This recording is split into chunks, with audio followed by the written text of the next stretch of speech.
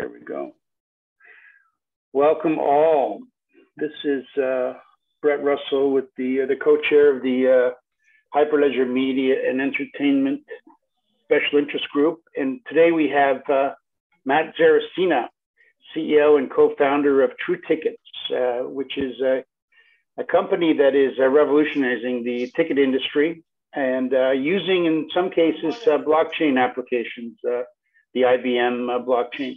I did have the uh, uh, uh, have a look at uh, or listen to the interview with uh, you, Matt, and uh, Jerry Cuomo, um, and that was really good. It was really, you know, I, I I don't know Jerry. I've been to a few events, and I think I met him, but we're not the best of buddies.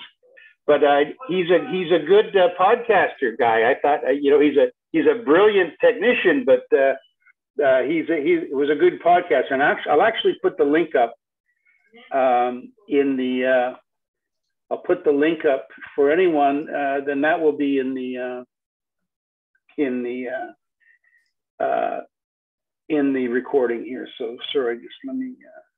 yeah, I think I've I've known Jerry now for gosh almost five years. So I, I no kidding he's known about us since we started. I mean, we we incorporated as a company in September of 2017.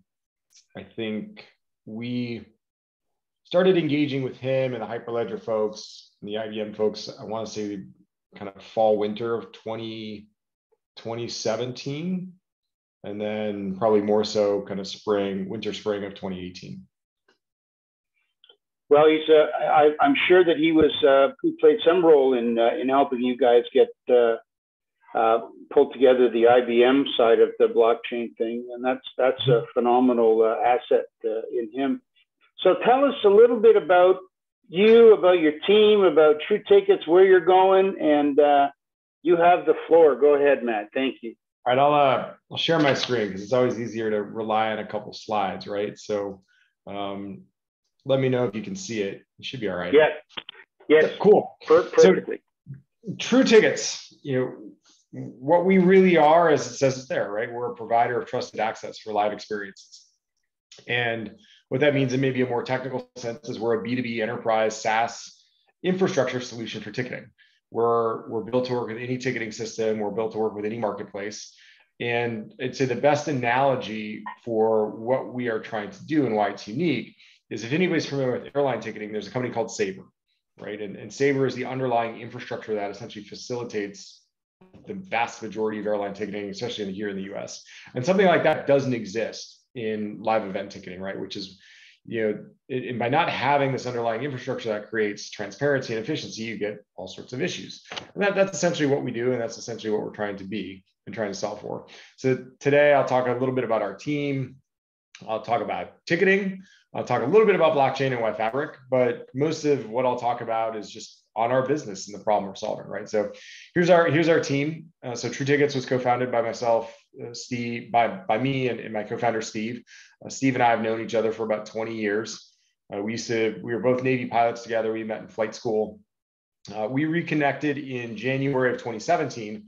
Uh, I had just taken a corporate innovation job for a French aerospace defense company called Thales where I was their director of innovation. I led their blockchain project. I led their autonomous vehicle project, did a couple other things.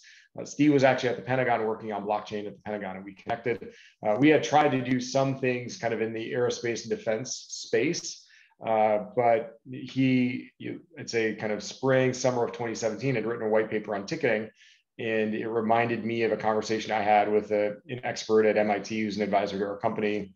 We had had a, a conversation in January at MIT on just blockchain and potential use cases. And it, for a minute, we kind of talked about ticketing, and we thought that was a great use case.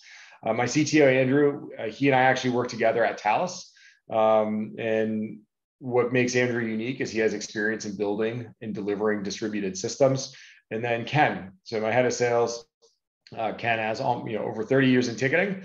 Uh, what makes Ken very unique though is there's really only been one other blockchain enabled ticketing company um, for all intents and purposes that that's had a lot of activity or i'd say you could say is the only one that's been acquired and that was upgraded.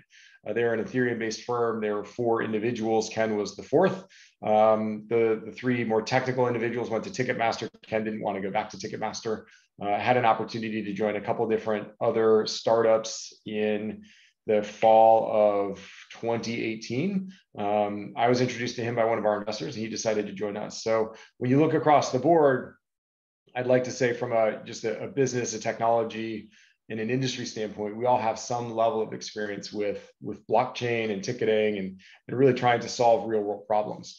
Um, a little bit about me. Uh, you know, I my journey um, has been an interesting one. I started out as a, as a Navy pilot, and then I taught at Cornell for a bit.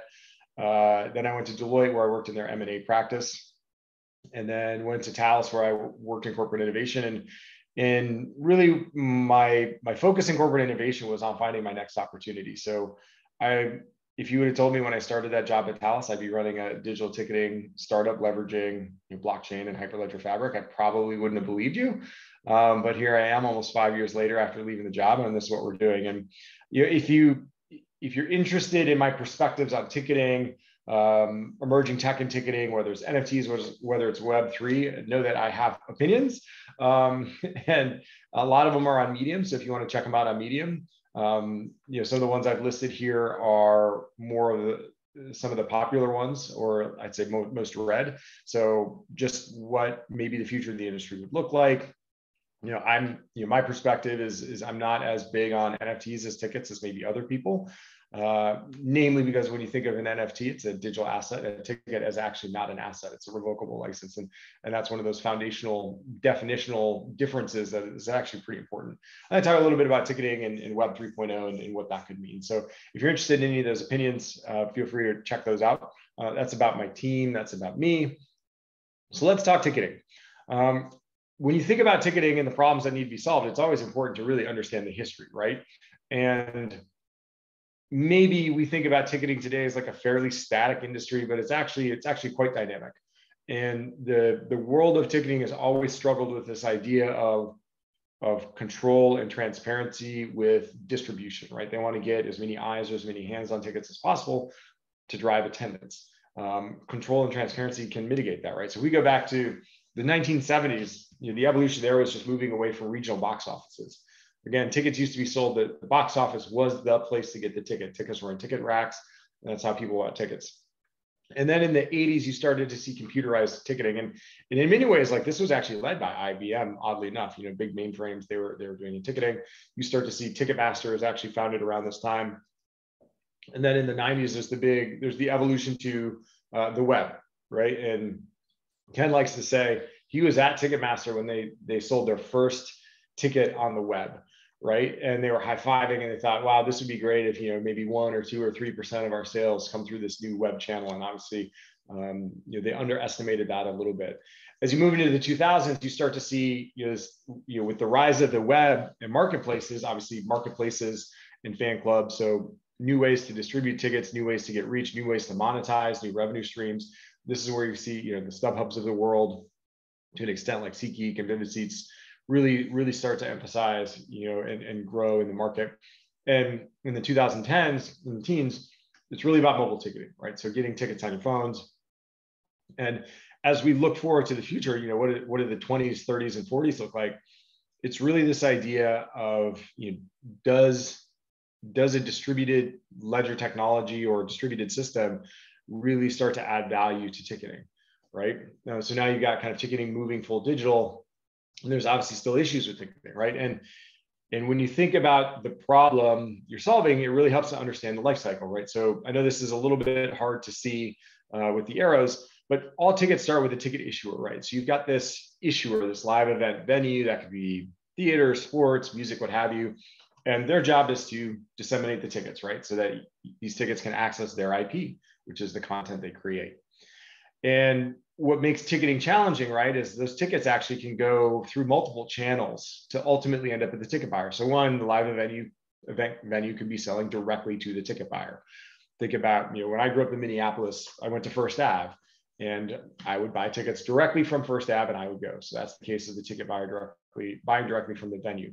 Then there's these authorized sellers. So some venues will leverage marketplaces or other distribution channels in an authorized way to sell tickets, right? So maybe they have a deal with a channel and that channel then, um, you know, for example, like a Goldstar in the theater space could sell tickets on behalf of a venue, right? So this is an authorized seller.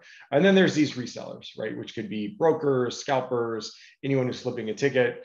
You know, that's kind of that, that third one here. And, it, and there's now creates this matrix, right? Of you know, tickets getting to the ticket buyer. Maybe it goes from the venue to the authorized seller to the to the to the actual kind of buyer or attendee, and then it goes or it goes authorized seller to broker to to eventual kind of ticket buyer attendee. And this then kind of creates that problem, right? Because with every one of these transactions, and if you have uh, opacity in the system or a lack of efficiency, lack of transparency, you create issues, right? Those are where you get fees, and th- those are where you get people buying illegitimate or fraudulent tickets, and that those all create issues, right? So understanding the complexity and the complications of the life cycle and understanding this flow is critical in, in how you think about solving this problem. And if we take a step back and just think about in general, you know, when you're when you're trying to apply distributed ledger tech to a solution, understanding the business problem and why having a distributed data solution is potentially better than the other solutions out there is key. And like I said, you know, we, we focus a lot less on the tech and we focus more on the problem we're solving. So when it pertains to ticketing, what are the problems? Well, I mean, one is control, right? So the minute the minute kind of that ticket issuer sells that ticket and it leaves their hands, you know, they've lost the ability to to have control over. Right? It means if it can be duplicated, can be scalped, can be manipulated. The other one is identity, and I think this is kind of a shocking stat, right? Uh, the Boston Red Sox, or this this by by no means this pertains to like our clients, which are arts clients, but you know, I talked to um, not this wasn't the Red Sox. I talked to another Major League Baseball team. They know 25% of the people who attend their stadium in a year. They draw two million people a year. That's 15, you know, 1.5 million people they don't know right? And and that that identity is a huge issue. And when we think about you know the attention economy, right? Netflix and Amazon and Hulu and Google and Facebook, uh, they know 90 to 99% of the consumers of their service. And if you're you know a live event venue, you only know 25 to 40% of the people consuming your service, you're at a disadvantage because you can't market, you can't curate your content, or you can't you can't really curate it as well or market it as well as those other other organizations in the attention economy. The last one's integrity, right? So everyone, we've all been there. You know, we're we're looking, we want to go to an event. It's a high profile event. We're buying a ticket. We're spending a lot of money, and we're just kind of uneasy or we're queasy or nauseous that oh man, maybe this ticket won't work, right? So you're always kind of concerned about it. So you know, these are the key problems in ticketing. And when you think about how you solve it, I mean, it's obviously, you know, you want to make sure there's control, right? So making sure those tickets can't be duplicated or manipulated. You want to make sure there's there's identity, right? Event organizers should know who's coming to their actual shows. And, and the third is verifiability, right? So you want integrity of tickets. And, and this is really how we approach solving ticketing. Um, why blockchain? The, the why blockchain piece in ticketing is pretty simple. You can Google blockchain and ticketing, and I don't even know if True Tickets will pop up as one of the top searches. Um, and, and look, that's good, right? Like people are excited about this technology and what it can do. Um, at the highest, highest level, when you th- kind of go back to that square, right, where you've got the live event venue, the the the primary sale by a third party, the resale, the ticket buyer, ticketing is a distributed problem. In that you have multiple external organizations or entities or people essentially handling the same inventory. So the thought that people like you know us and people like me and companies like us envision exploring is well, if it's a distributed problem, distributed problems are best solved by distributed solutions. Um, an analogy to use is yeah, I used to fly the the the SH-60 Bravo, right? So it was, a, it was a Black Hawk, but it was retrofitted to, to hunt submarines. But anybody who knows if you're in kind of the warfare community, the best way to hunt something is to be in the median right? So we were always at a disadvantage. The best way to hunt an enemy submarine is with another submarine, someone that's in the medium, right? Same thing with aircraft. Like the best way to fight an aircraft is usually with another aircraft. Um, and so in this instance, when you when you think about it, like a distributed technology should theoretically be able to solve a distributed problem. That's why people get excited about blockchain, right? And we all know what the issues are. We talked about um, you know uh, attendance. We talked about knowledge. Um, the other thing too is really interesting is is understanding that tickets again are not assets; they're revocable licenses. And so when you rem- if you had a card stock ticket back in the day, it was you know, there was all this verbiage and fine print on the back, and you never really read it. Well, those are the terms and conditions to fulfill that license, right? So it's not an asset. It's not a thing like you that you own like a house or a car. And so there can be different licensing restrictions, and teams and leagues and venues want to enforce those restrictions. And for the most part, it was really challenging to enforce them. But now, as, as ticketing moves digital, it becomes much, much easier to enforce some of those restrictions. And you can automate that, and, and it makes it a lot easier. The other thing, too, is when you think about it from a business standpoint, there's a ton of money kind of left on the table via rent seeking behavior, right? So when you think of value of partnerships, if if I'm a ticket issuer, if I'm if I'm Major League Baseball, if I'm the NFL, and I had you know Major League Baseball does 70 million tickets a year, uh, if I want to strike a deal with a marketplace and make them my exclusive marketplace, to have maximum value, I, I need to make sure I, I can ensure there's minimum leakage right? And so today there's a lot of leakage. So the value of their partnerships goes down. If, if I can have a technology um, that allows me to control the channels my tickets are, are accessed via, as well as who my channel partners are and the controls around them, I actually increase the value of those partnerships, right? So it means that I can drive more revenue to my organization because there's less leakage.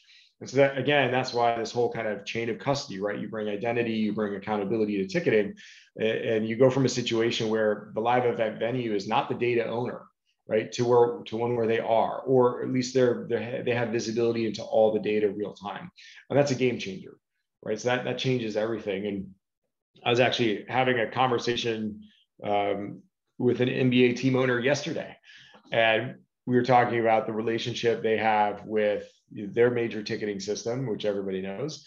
But for them the the, the value proposition or the, the the the equation they're trying to balance is my you know i trade my data they give me cash up front right? Well the only way to really change that because they can't really impact the cash because you know if i'm if i'm said basketball team and your ticketing system is writing me a $2 million check to kind of get my tickets and get my data obviously the ticketing system believes the the, the value of those tickets and the data is worth more than $2 million and so if you can do things as, as, a, as a team as a league as a ticket issuer to drive up the value either of that, that inventory or that data, right? So when you have blockchain, you get not only more data, but you get more consistent, more standard, uh, more accurate data. That actually means the value of that data goes up, which means if you want to make a cash trade, you, you can drive up more value, right? So it's all about it's all about creating value for the issuer of the ticket.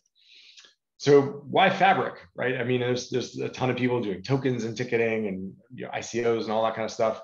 Um, you know, our learning is that really that ticketing is a B2B enterprise business challenge, right?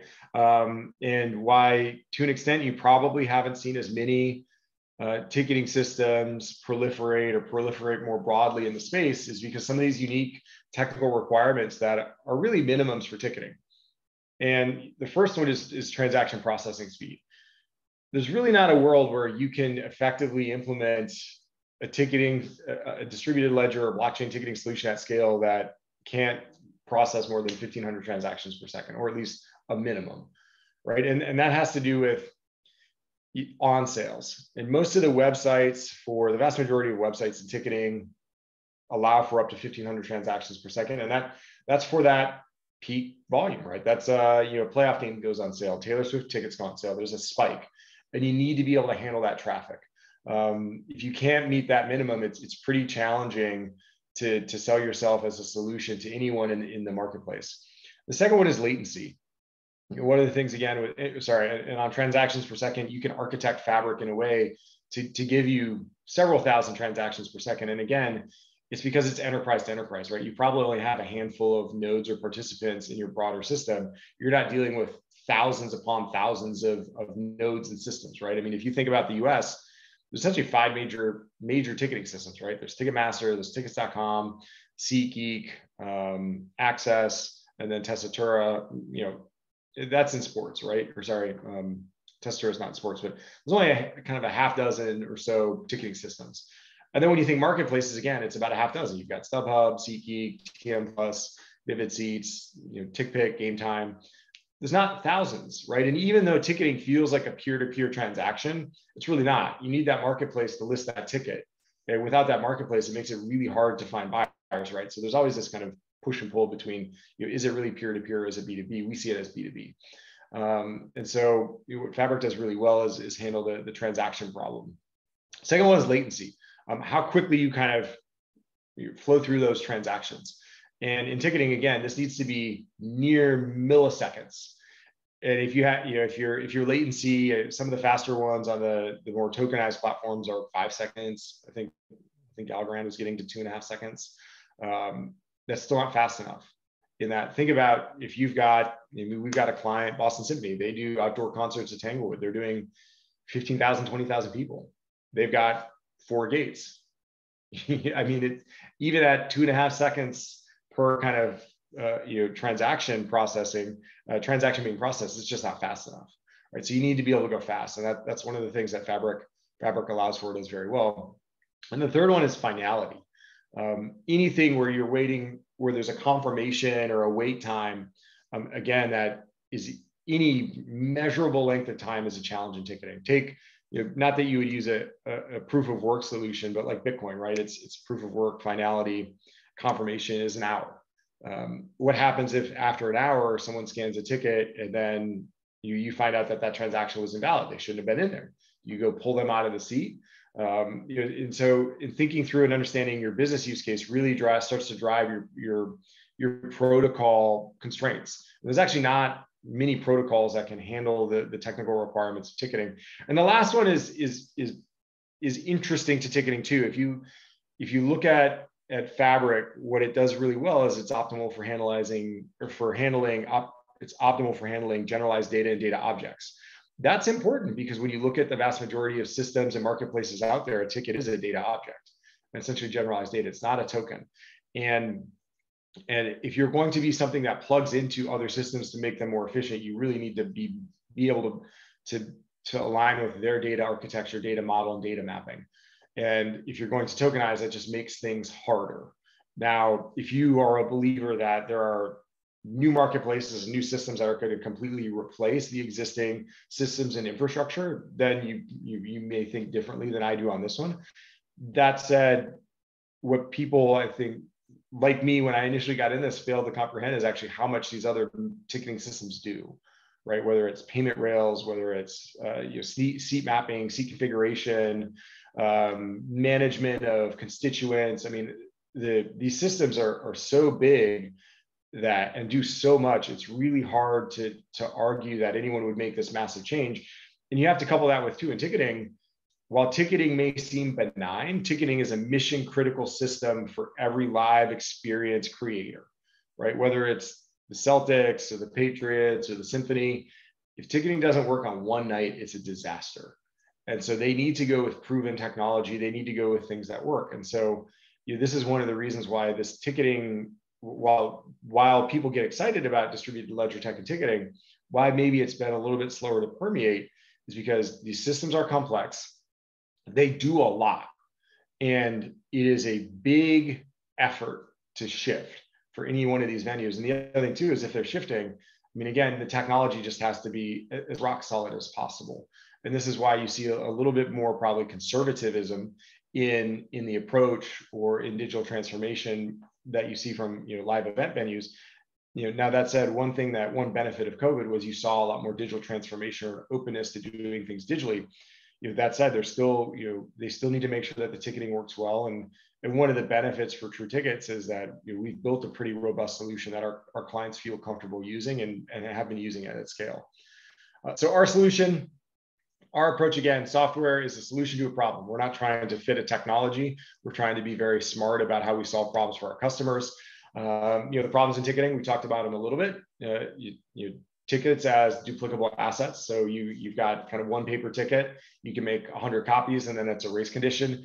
Um, ticketing systems do lag behind other industries and they lag behind because again they're these big large complex solutions some of them having you know code that goes back decades, right, to the 70s. Even the newest code bases go back 90s, early 2000s.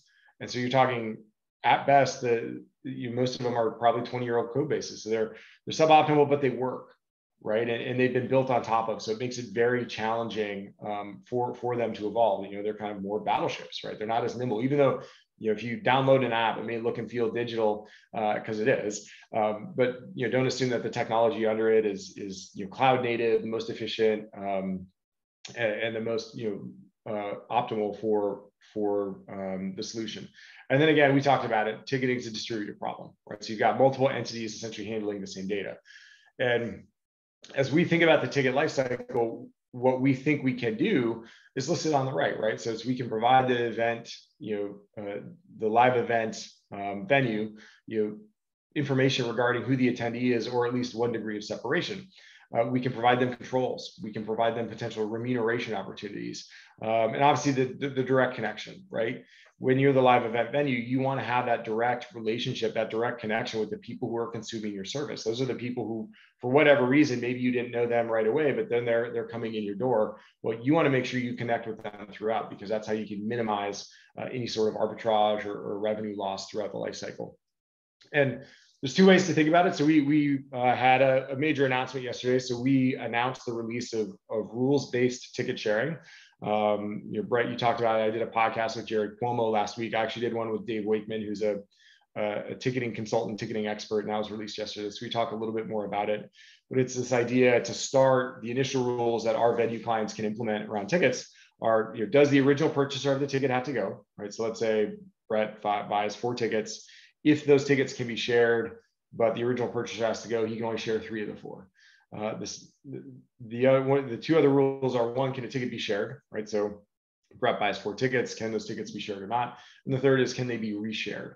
So if, if Brett shares a ticket with me, um, it either sits with me and can't go anywhere other than back to Brett, or if it can be reshared, I could I could share it with Encore, and then it could go on and on and on. And that's what we announced yesterday. It's uh, we're, we're pretty pleased with it, and and the, the reason we're pleased with it is not because that is the end all be all it's really about what it portends for the future, right? Which is this idea of controllable resale, right? So if I can, if I can put rules or if I can implement and enforce rules around the sharing of the ticket, I could theoretically do the same for resale, right? So what channels are those tickets going on, right? So if I'm Boston Symphony, do I want to allow SeatGeek to set, allow my tickets to be listed on SeatGeek or not? Or TM Plus, maybe, maybe not. Do I want to strike a deal there? What are the rules around the resale of those tickets, right? So if it's really changing ownership, right? So Brett's reselling tickets. What are the rules around the, the, transfer of that ownership? So if I buy that ticket, what needs to happen, right? This could be um, price floors, price ceilings. This could be, you know, all sorts of other issues. And then there's the third is kind of the the remuneration scheme, right? So if it's sold above face value, does half of that markup go back to the symphony as a donation, right? So the, the world of possibilities when you, when you think about um, rules-based resale or, or creating rules-based marketplace infrastructure is really appealing because for if I'm Boston Symphony, there's no way I can compete with the search, search engine optimization of a Vivid Seats or a SeatGeek or a TM Plus. But what I can do, what I'd like to do is be able to have a technology that let me lets me take advantage of their reach without sacrificing control. So that's really what we're exploring now. Uh, you know, this is our operational snapshot. Um, I got to update that. We're actually live with 10 venues now. So we'll be announcing a new one next week. Um, we've delivered almost 2 million tickets. I'd say about a third of those are enabled by Hyperledger Fabric on blockchain. And so we offer both a, a blockchain and a non blockchain service. Uh, some of our clients have no desire to take advantage of secondary markets or other distribution channels. And in that case, that's a completely centralized uh, solution. There's no reason to distribute the data. So we, we built out a, a non-blockchain solution that is, is more cost effective. Uh, the market value of our tickets is uh, over the last kind of two years has been about 120 million dollars, and of those two million tickets, we scanned uh, about one and a quarter. Um, so I like to say that that we're a pretty proven, pretty proven opportunity, and and we're hoping to kind of keep this going and, and build out the marketplace infrastructure. And so with that, it was kind of a little bit of a rambling talk, but I'll I'll stop there. I think we got like 25 minutes, Brett. Happy to entertain any questions y'all have. That was uh, pretty awesome, Matt. Um, I have a couple of questions. I'll throw it out to the floor, but uh, um, the, I, I, like this uh, rules based, and I do recall you talking to uh, Jerry about that. But uh, that's exciting stuff, and I, am I'm, I'm reminded of uh, my wife uh, purchasing uh, the latest Bruce Springsteen event, uh, and it was a oh man, that was a disaster. Oh man, talk about clunky. Uh, you know, it it it. Uh, I mean, this is one of the things that they're solving with this uh, this new venue or this new method of ticket purchasing through Ticketmaster. And I don't know how they did it, but my wife was in a tizzy for for some time looking at uh, waiting to get online and being told she had a, he was in a queue and waiting and like it was crazy. What's uh, what are your thoughts on that? And of course, uh, Brucey's in the news about how how much these tickets are being sold for. Most of it is to stop the bots, and uh, some of it is to stop the piracy. And are you solving most of that with uh, this new rules-based side of things? So we do it in a different way, right? So unlike Ticketmaster and unlike most people in the ticketing space, we don't sell tickets. We deliver tickets. Right. And as a as a trans transparency, identity, and accountability solution, it's it's really independent on what happens on the front end, right? So we um, there was an announcement a couple weeks ago. We announced our partnership with the Smith Center in Hamilton for their on sale, and the way Hamilton approaches on sales is a little bit different. They they just kind of let the sale happen, and they take actually two to four weeks then to sort through they don't release the ticket. So when you when you buy a ticket, you get an email saying, "Hey, you get a confirmation that you know your tickets will be delivered." But then they actually go through the data to see, all right, is do we think this person's a bot? Uh, do we think they're a real you know a real person who's going to go to the show? You know, do we are we able to connect them with any sort of secondary market activity? So there, there's different ways to solve it. And what's interesting about us is is we're simply an enforcement mechanism, right? So from sale to scan, we're an enforcer of the ticket. And that can be, that can be, you know, if people want to not have their tickets show up on the secondary market, but could also be to work with the secondary market. Again, you know, people, our clients can put rules around tickets. We let them put the rules around the tickets. Um, that's in the best interest for their business. But other than that, we just enforce it. And so I would say that, that that's a big difference for us. So I actually kind of in, in understanding ticketing, completely removed ourselves from that front end mess right? So we're just a, a delivery mechanism, delivery option.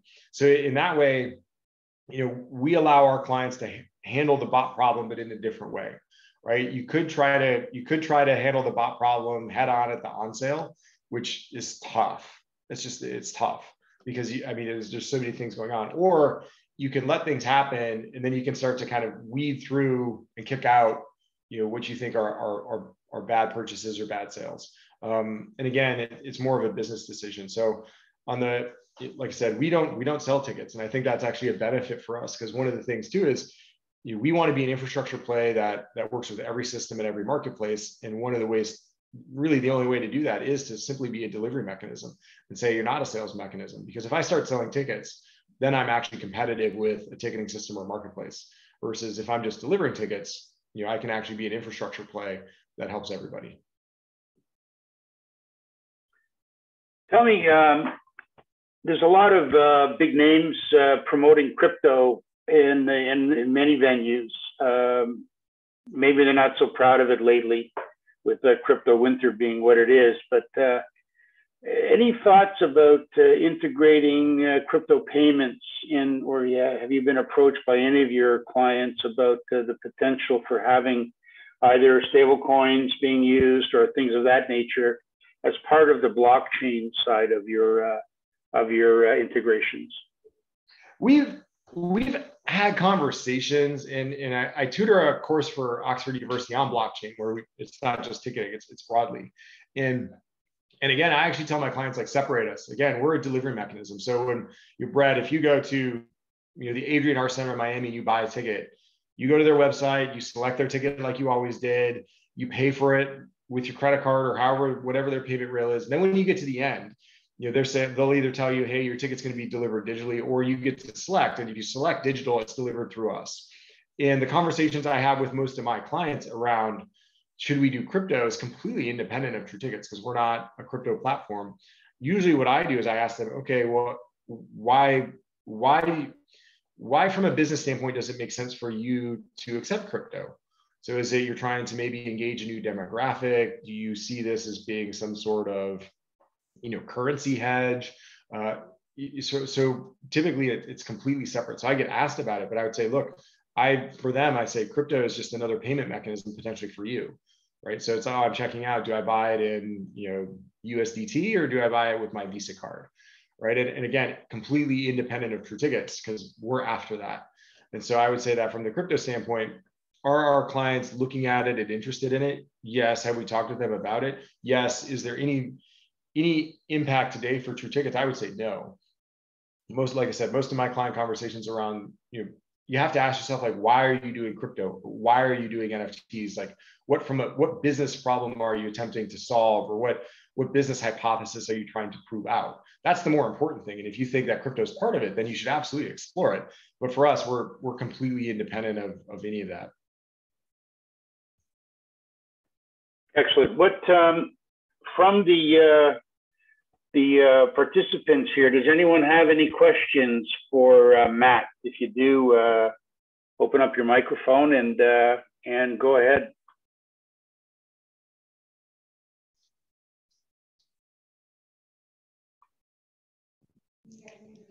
Hi, this is uh, Ankur here.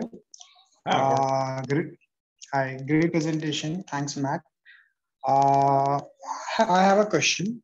Uh, what is the kind of business impact, uh, some feedback around business impact that you would have got? For example, uh, using your uh, uh, technology, uh, was there an increase in revenue because people were able to do secondary sales or ticket distribution got better because they were able to reach people because they were able to identify them better uh, how does it lead to some business impact so the the business impact today is, is about identity and accountability right so if you think on the ticketing side i mean now that we've been in operations for two years we have some quantifiable data around the impact right so we're seeing one is like a lower no show rate, right? So people who are using our tickets relative to other ticket types, they are showing they're showing up at the venue in higher propensity than others, right? Um, this could be for several reasons. It could be that maybe brokers and scalpers are avoiding our tickets, right? So the, the, people who are most likely to eat tickets or not go are likely those who are trying to find some sort of arbitrage. Um, the second is because of the way our ticketing solution is constructed, it really is a, a, live event management solution as well, right? So you you're not downloading an app; it's a web app. Um, you're able to access it, and our clients are able to change things about the ticket and the event essentially real time. Uh, so, for example, there was a show a couple a year and a half ago in Orlando. They had that they had an outdoor festival because um, they were still dealing, with COVID, and a thunderstorm rolled through right at seven o'clock, and the show was supposed to start at 7 p.m.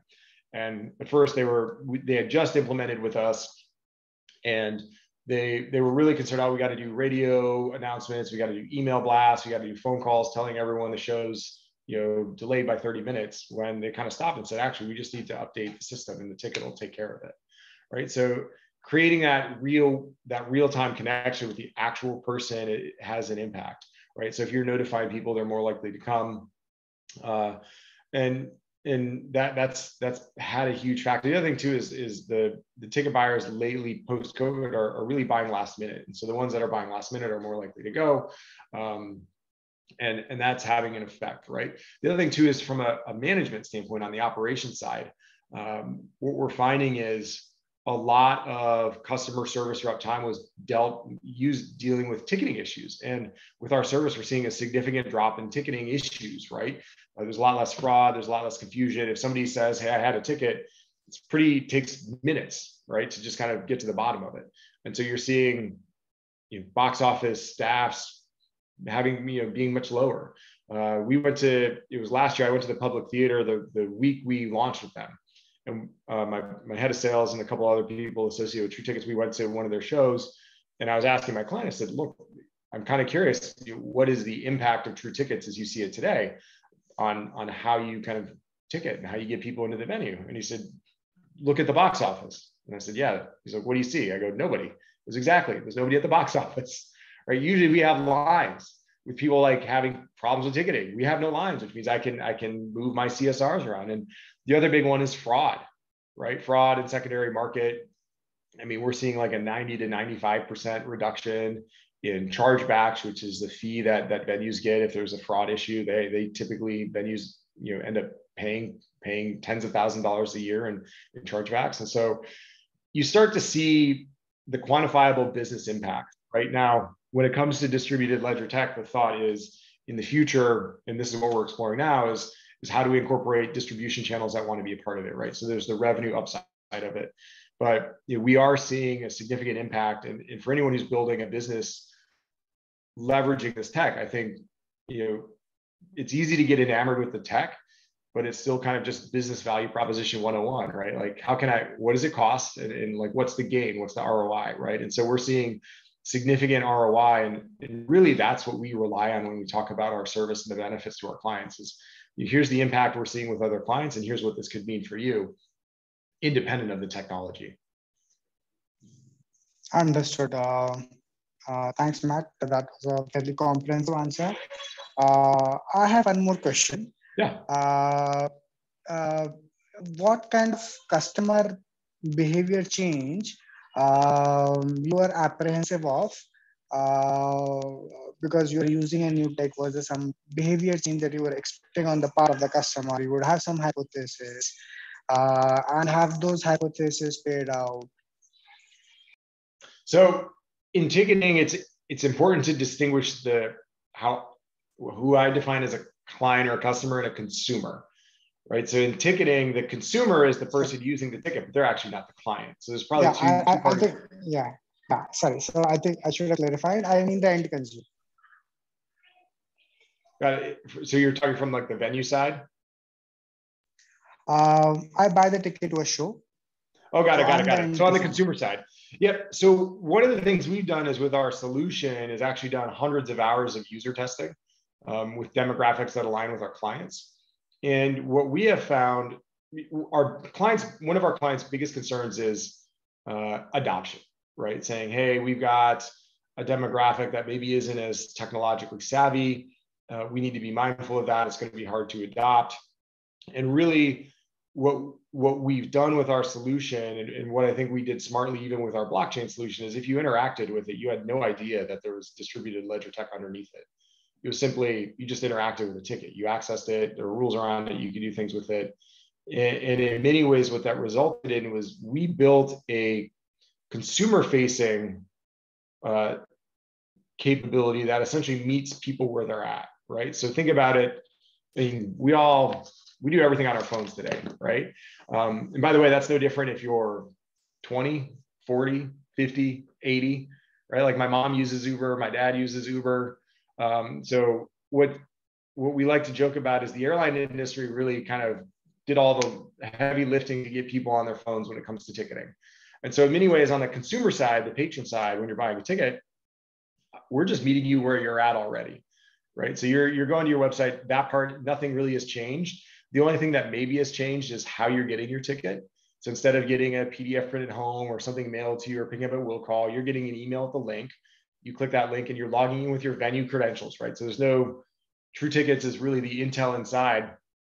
And it, you know, if you go to any of our clients, they're just delivering through a white label site. I mean, Boston Symphony, it's I think tickets.tanglewood.org today, and you're logging in with their credentials. So for from a consumer standpoint, it's really fairly straightforward and seamless. Um, that said, it it's going to look that way because we spent hundreds of hours trying to figure out what's the what's the most efficient way to do this? And what's you know what's going to resonate? What's the verbiage? What's the flow? Um, so we spent a lot of time user testing to understand how can we make sure that our our service is intuitive. In fact you know, with with ticket sharing what's been incredibly validating is we are we're live with it now in pretty much all our venues. None of our venues have publicly communicated to their patrons that this feature is available. Yet in the last two weeks we've seen thousands of tickets be shared thousands of new accounts being created.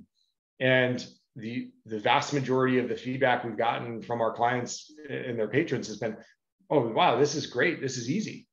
And so to me, that's validation that all that work we did in trying to understand how to make the process as straightforward and seamless and intuitive possible is working because the organic usage of the service is literally requiring no education in that people just see a share button, they click it, they go through it and done, they share the tickets and it's done.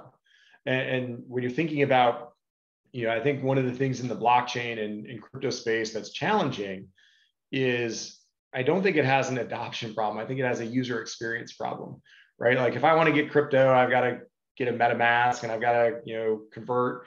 I mean, shoot, one of the big one of the big new changes is MetaMask now accepts credit cards, right? So I don't have to go to Coinbase. I don't have to buy on Coinbase and then convert my Ethereum to my, you know, transfer it to my MetaMask account to then buy other crypto. I can literally buy straight via my credit card on MetaMask. I'd much rather do that, right? Those are that's a user experience problem. That has nothing to do with the tech, right? So when you're thinking about the solution you're building, and and where I think the builders in the blockchain and the crypto space have struggled is I think they they have underestimated you know the the value of making something easy and intuitive and seamless for people. And a lot of times you hear people go, well, yeah, you're, you know, this is a little bit harder, but you get so much more benefit here. And that, that's just not how people work, right? Like people go, well, I want the benefit, but I also want this to be easy, right? And so if you if you can't figure out how to how to make that work, like your your, your solution's not going to get adopted. It, an interesting analogy is think about air, airline Wi-Fi, right? Like 15 years ago, you just got on a plane and you accepted you weren't going to have internet, right? So maybe you loaded up your Outlook box, maybe you did something, you watched a movie, but then airline Wi-Fi came on, and now you can connect. Now you have email, and, so now your your expectation is I'm going to be able to get work done on my flight. And what happens when the air, you know, the in-flight Wi-Fi doesn't work? You're pissed because your expectation's not met, right? You, and then you want compensation, like I should get more miles, like I wasn't able to get my work done. Same thing when you're building even an emerging tech solution. You need to understand what the what the what the critical dimensions of the customer experience or the user experience are and what their minimum expectations are. And across the board you at least have to meet the minimum otherwise it's not going to get adopted. And this is where again i think in this space because the technology is complex right? Like look building distributed systems is hard. And in any one of those areas where the dimension is hard if you're trying to get adoption if you can't meet the minimum expectation it's going to you're going to struggle. And so one of the things that we've done very well is really architect our solution to be as seamless and intuitive as possible, where you can leverage the emerging tech, but from the consumer side, you know, it, it's essentially immaterial. You're either getting what you expected or better than what you expected. Got it. Thank you so much. Great questions, uh, Ankur. Thank you very much for that participation. Uh, any other questions from anybody?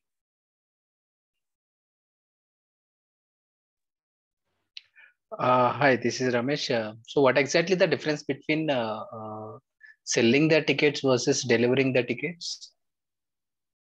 So, selling versus delivering, right? So, uh, think about it like this: um, Ticketmaster sells the ticket, right? So, you they're the they're the payment rail.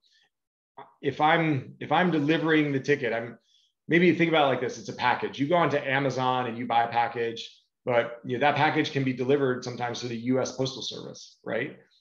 The U.S. Postal Service isn't selling you the package from Amazon; they're just making sure that package gets delivered, right? So it's more of an infrastructure play, right? So that's the biggest thing. And when you're selling a ticket, there's a, a, a little bit of a moral hazard if you want to be an infrastructure play, because you're essentially monetizing and incentivized on on making sure you sell those tickets for as much as possible versus being a delivery mechanism only, we could be an infrastructure solution,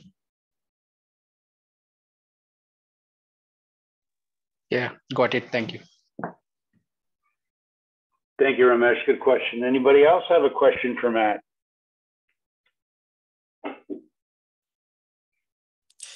Yeah. Uh, hey, Matt. Uh, this is Arvind here. Um. One question about uh, the platform. You know, I'm just joined a little late into this call. So can I understand, like, from the infrastructure point of, like, what type of Hyperledger platform is used for this complete uh, application, ticketing application? So you know, I won't get too much into the tech, but we like to say we're we're we're built on Hyperledger Fabric. We run we run on IBM blockchain and we deploy to Google Cloud. Okay, good enough. Thank you. yeah, I gotta be I gotta be careful, right? Thank you, Venkat. Any other questions for Matt? You know, Brett, another way to kind of add to Ramesh's question, right? So when we think about the internet, you know, there's the application layer, right? And that that's where you know Amazon and a lot of other companies monetize. And there's the infrastructure layer, which is TCP/IP, right? So the infrastructure layer delivers, doesn't sell. And so when you think about True Tickets, our goal is to be that infrastructure layer that facilitates essentially effective and transparent and efficient ticketing. The application layers let ticketing systems and others sell tickets and we can just process. So we we really want to be the pipes. And if you can be the infrastructure, you can do it for, for all systems and all marketplaces. The minute you start to be like a consumer facing application, you start to create challenge if you want to you know be that infrastructure play. makes sense. The, uh, the, I think the whole concept of blockchain and uh, as, as you alluded to earlier is that it's invisible. It's uh, to the end user, and they they're they're never going to know whether there's any blockchain in the back end, and they shouldn't. And in some cases, they shouldn't be told either. I think because of uh, the opinions that they may uh, they may come up with. But uh, well, hey, no, nobody advertises themselves as like a relational database company or a that's right, exactly, right? yeah, exactly. Distributed ledger. Um, any other questions for Matt? We're uh, we're closing in on the one hour period here, and uh, Matt, that was a phenomenal presentation, and uh, we want to. Uh, Hyperledger wants to thank you. I want to thank you very much for taking the time for putting all that together and we uh, definitely uh, have learned something today and have a better appreciation for what you're doing. So no, thank awesome, you. Brett. Thanks for reaching out and happy to do it. Thank you so much. And we'll uh, we'll uh, make sure this gets up. I'll send you a link to the recording on the YouTube channel for everybody. Also in the uh, chat, I put a link to Matt's uh, opining on NFTs and tickets. So that's that's something. We'll put those links up in the in the YouTube video uh, the Hyperledger, Hyperledger channel. So thank you all for attending. Matt, thank you very much for taking the time again. And uh, it was a fantastic presentation. Thank you so much. Awesome. Thanks, Brett. Thanks, everyone. Take care, everybody. Thank you. Bye-bye.